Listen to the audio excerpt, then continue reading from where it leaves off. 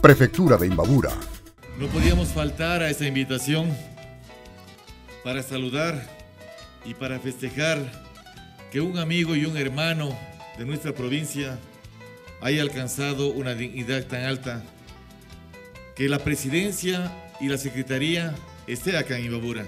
Tenemos que sumar los esfuerzos para que lo que se proponga, lo que tiene en mente y lo que socialice con ustedes se pueda concretar.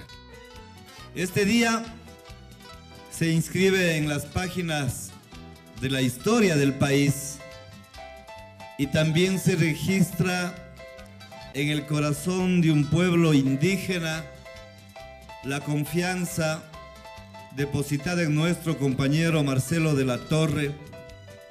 Hoy es la gran oportunidad para ratificar, querido Marcelo, esa valía y esa capacidad para articular a una enorme organización, una legislación que verdaderamente defienda el derecho de nuestros artesanos.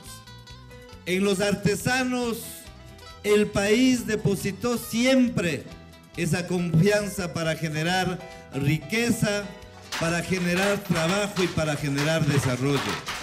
En mi calidad de prefecto, quiero transmitir el sentimiento de la provincia de Imbabura, de sentirnos orgullosos que un compañero indígena haya asumido esa responsabilidad y que durante los próximos cuatro años le demuestre al país y a la patria grande de que los indígenas, los campesinos, estamos preparados para enfrentar retos grandes y retos difíciles.